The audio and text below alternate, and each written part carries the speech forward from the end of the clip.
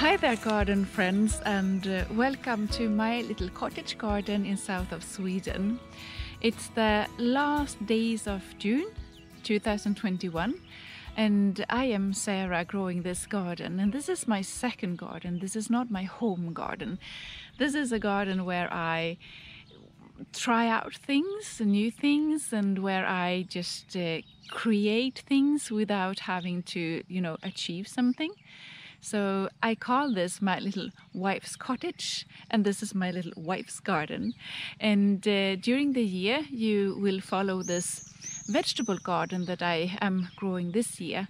And this is just a, a, very small part of my garden. The idea is simply to grow quite a small vegetable garden so that people can come here and have a look what you can actually do with quite a small space you have followed this garden in this season from the very beginning and you know then that I have six small uh, garden beds over here and that I created like um, a stair up through this hill and it's now three beds.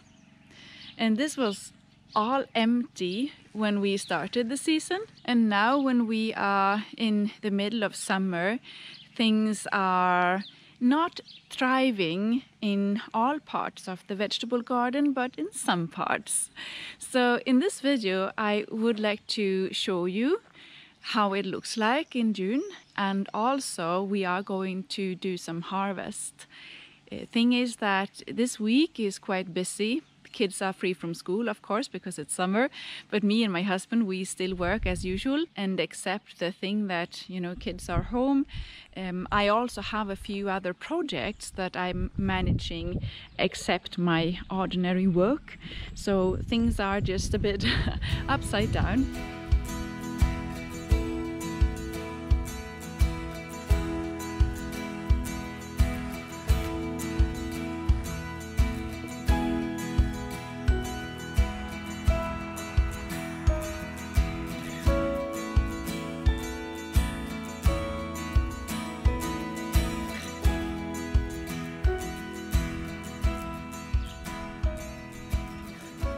So this is how the vegetable garden here at Oak Hill looks like right now. And uh, you notice that this bed looks kind of empty. This was where we started the season by sowing and harvesting the spinach. And this have been a very tricky area for me to grow because this is bare soil and in almost um, any part of my gardens I use this method mulching. So I prefer to mulch the ground, and when I do that, I don't have bare soil that will dry out easily. So I have struggled with very um, hot weeks in June, no rain, and this garden is exposed to sunlight and also wind that dries out the, um, uh, the soil.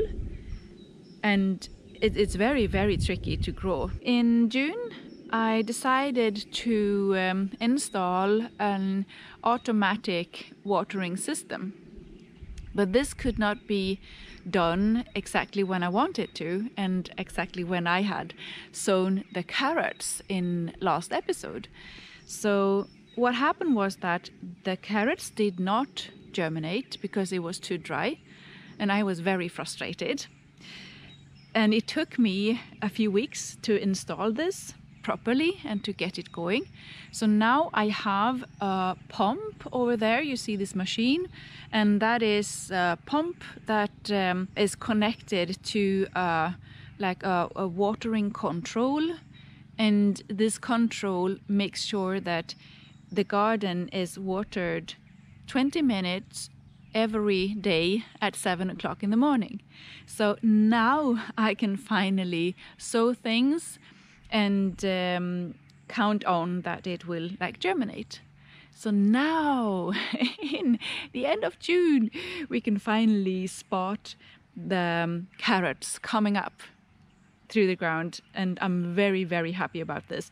This will be fall carrots. And they are so tiny when they have just germinated so they are uh, sometimes tricky to spot with the eye even but I, I, think you can see some signs of it. In this row I have the is it spring onion or is it Welsh onion? I think it's spring onion. But they have been very slow and did not develop properly either because of the dry weather. So I have a batch of this onion coming up uh, at home so I am thinking about giving it another try in another space later on this summer.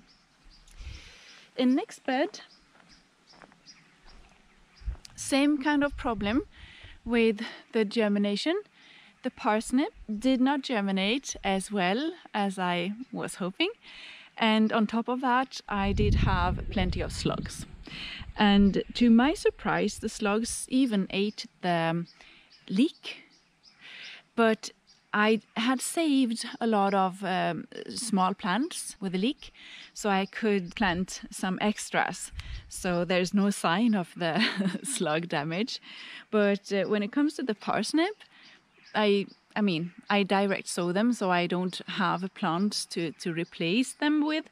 So what I did was that I filled up this uh, area with a yellow chard instead, because they have the same kind of height. And and that could be something to think of when you want to fill up a row or something else when something didn't germinate that it is good uh, to think about how the vegetables grow so that they don't compete too much with each other. I was left with uh, exactly five parsnips. That's really silly, but I do love the parsnips, so I kept them instead of, you know, pulling them out and and um, putting the chard in in all this row. Over here in my next bed,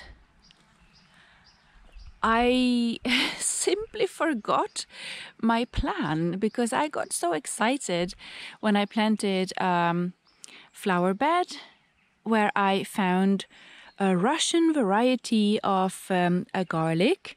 I have forgotten the name, of course, but the plants looked kind of healthy then. So I decided to just pull them out and plant them in this bed instead. And this was the bed where I was supposed to have cucumber. I, I do have cucumber in the middle now, but they were supposed to be in this part, and I was supposed to have the um, the artichokes in here, and then pepper. Unfortunately, I ended up having no plants at all with the artichokes because they were first killed from um, a larvae uh, that I had in the pots inside, and then they grow so, so, so slow when the spring was cold and very dry later on. So they were just too small. I decided to just throw them away, so I don't have any artichokes this summer but uh, instead I have a few other nice things. So this bed ended up with pepper, cucumber and the garlic. And to be honest with you, the garlic don't look that good. but uh, I have already harvested a few of the garlic leaves and the scapes, of course. So it gave me some kind of food and I'm very happy about that. I think this is a perfect looking bed for brassicas and I am very, very happy about this. I didn't have very high hope in the beginning of the summer because it was very dry. If you are new to gardening, you may think this looks all right, but there are a few signs uh, when you have a closer look, especially at the cabbage. This is a white cabbage, and you may notice that this cabbage it has a, a very tiny little head on top of a quite tall like stem. And this is a sign that the plant have been stressed. And I think it's like because it was too dry, and then it, the the plant prepare itself to to flower. So I think in just a very short while I will see like a stalk uh, producing buds and then flower. So I think I will remove this plant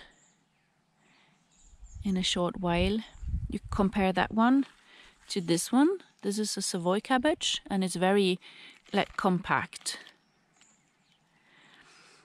It has grown very slow also because of the the dry weather and no water.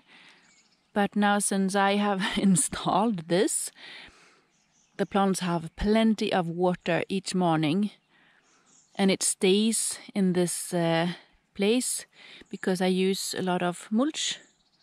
It keeps the moisture very good. Look at the kale. Wonderful. And this one is the broccoli.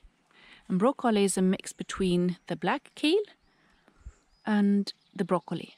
So you eat the leaves and also the sprouts. I do have some slugs in here, of course, but I keep the net on top and it prevents uh, butterflies and moths from laying their eggs on the leaves and it makes a huge difference. It doesn't look that inspiring though, but it's, it's very good for the harvest. And now let's move on to the popular pallet collars. Plenty of people use them in Sweden. It's uh, kind of tricky to grow in pallet collars, I think. The results are much better in other areas. But in this garden I want to, to show also how you can grow things in the pallet collars with a good result, what kind of techniques you can use. In front of this one I have yellow beets. This is a portulac. Is it portulac in English or do I forget the correct name? I have harvested a lot of this already. Whenever I'm here, having breakfast. I go out here and I pick some leaves and have on my sandwich. I also harvest a lot of basil and it's time for me to make more like a, a proper harvest to put some in the freezer before it starts to flower. But this is just lovely and it's uh, also time for me to make new sowings for this garden of basil because whenever I have a spot free I can put out a new plant of basil. Like here, I planted out fennel, but I could not provide them with water enough before I had this watering system installed. So there are only a few of the fennel that survived, unfortunately. But it gives me some space here. I will try to fill up with something else. Peas just starting to flower. I think this is Lokförare Bergfeldts jätteärt. it's a traditional pea, a sweet pea, with huge peas. I will show you later on. I think I will have to do something about it's a bit whimsy. In this pallet collar uh, grows lettuce, parsley, carrots and dill. The dill are actually finished, so we will replace that. Uh, wonderful squash, the zucchini. There is a poor tomato plant in here and some tall beans. And then comes this lovely hill of mine. Um, I can't believe I actually managed to, to do this this spring because uh, the spring was kind of busy. But now having a look at this it's just wonderful. It grows amazing. And when i made the last episode nothing was planted. So i will just tell you what's in it and then tell you a bit about how i did the last bed on top of the others this is the first bed and it was created last year last spring and here I have tomatoes in the back, physalis, and a few melons.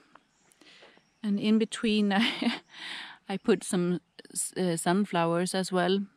Most of them will not survive. As you can see we have uh, a few slugs here. So I planted a lot of melons in hope that some will survive. Most of them are already eaten. We'll see how this will do. In next bed, I just love this view. I have um, squash. There are two different varieties. It's um, Costata romanesque. Oh, Costata romanesco. It's my favorite. Uh, it's one that I have been growing for 10 years at home. It's um, like light green squash with a very special look. It's not like flat, it's um yeah, you will see later on when we harvest. And then I have another one more flat squash that I grow especially for the flowers. Because this year I am going to learn how to eat the fried squash flowers or zucchini flowers. I don't know if if you know that. Maybe this is the, your first video from my gardens, but I grow a Swedish garden at home where I produce all the vegetables that my family needs in a year. So we are self-sufficient with food. And being self-sufficient with food in this cold climate as Sweden is, um, you have to be quite creative when it comes to cooking. And um, I I think it's a very good idea to every year try to learn something new, uh, to learn to you know use a new part of a vegetable or a new thing in your cooking, etc. So you you develop yourself all the time. Um, it, it's very important for me, and this, you know, using the flour, I have not done that before except you know I give it a try. But this year I will go for it. In the back here, I also have the tomatoes, and these are the Piennolo tomatoes. We call them everlasting tomatoes in Sweden. You can actually store them indoors for several months. So it's possible for me to to harvest the tomatoes and hang them in the, the ceiling indoors, in the kitchen, for example, and then I can harvest fresh tomatoes from that place all winter long. And look at this place, how it thrives, yeah? I have to tell you something about how I did this second bed. It's grass upside down, and then it's a decomposable weed fabric. On top of that, silage and then grass clippings. And I have planted my tomatoes and uh, squash directly into this, simply doing a, a little hole in the ground and then put my plant in it. And as you can see, I have this drip irrigation here. So every morning at seven o'clock it waters, and that is why the plants look so healthy. So now we only have this last bed left. And I think this is maybe the most impressive uh, uh, bed of all of them. And it really shows how how one can work with the garden in the most simple way and create like very very interesting results. So when i had finished this second bed i was like i will just do it. I will just give it a try. So i simply put this uh, decomposable it's like um, a film, plastic film, um, bioagri, on top of the grass. You spot the grass looks like this underneath. So I just put that uh, fabric, that plastic film on the ground and I dumped like 10 bags of grass clippings on top of that and I made a little hole in the grass and I planted my tomatoes. I also planted some corn because I had plants left. And in between the tomatoes, I put a few pumpkins. We don't eat pumpkin. I only grow them um, this variety that has uh, like no shell around the seed so that I can eat uh, the fresh pumpkin seeds, you know. And this is Olga, it's my favorite for growing that kind of pumpkin. Now in summertime, it's um, it's time to prune the tomatoes.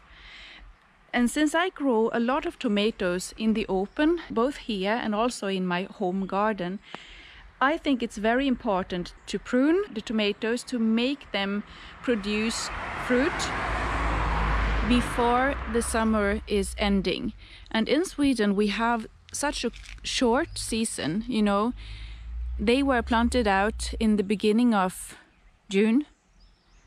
And in September, in the beginning of September, we may have first frost. So the plants need to really be focused on growing in a way that encourage them to to uh, produce fruit. And this plant is very, you know, it has a lot of side shoots, and this will disturb the production of tomatoes. So what I do is simply I remove all the side shoots and I also remove some of the lower leaves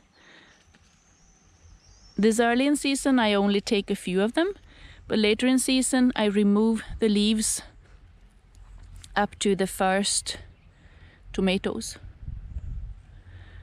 So I have already done the two lower rows of tomatoes and now I am going to fix this upper row together with you.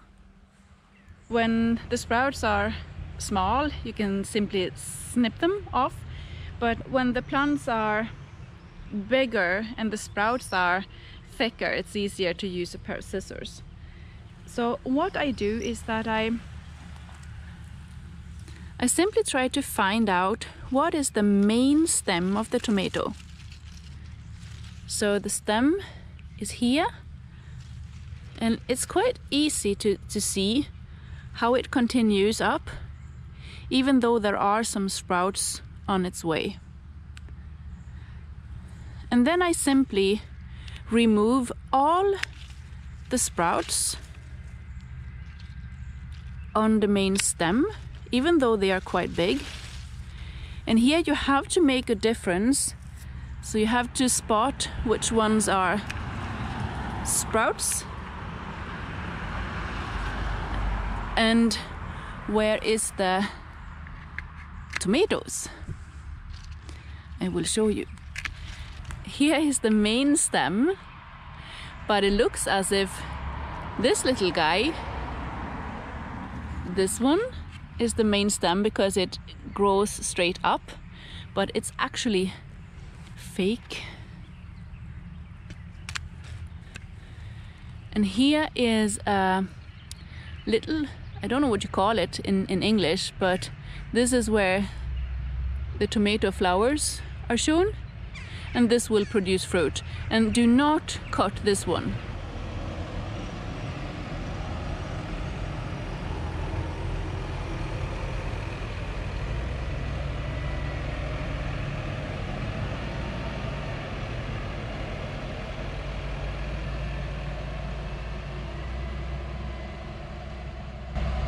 I will simply tie this up so it grows straight up. And the last thing I do is to cut off a few of the lower leaves. And by removing some of the leaves and the sprouts, I will bring in more light to the tomatoes and they will ripen a bit faster. And when we reach August, I will also cut off the top of the tomato plant and all the side shoots continuously. And that is also to to make sure that the plant put its energy on ripening the tomatoes instead of growing like green side shoots and leaves etc and in that way I can harvest plenty of tomatoes also outside in my climate that is quite cold I do not get as much harvest as I have in my greenhouses at home for example but instead I can grow plenty of plants that will give me something to harvest. And I mean, it sounds ridiculous maybe to, to cut the plants like this, but it is cold in Sweden. It's working okay to, to grow the, the tomatoes outside, but you have to be very careful and, and you cannot like pretend that this is uh, a warmer climate. It, it's not. It's cold and the tomatoes will ripen some of them indoors if you bring them in when they are green but you would like to have them as big as possible and as close to as possible to to be ripen or mature before that before you bring them in and this works quite good for me so it may work for you too all right my friends um, I have harvested in this little garden uh, for a couple of weeks and it's just amazing. It may look empty in some places, but this will grow up um, in the coming weeks and provide me with lots and lots of uh, vegetables.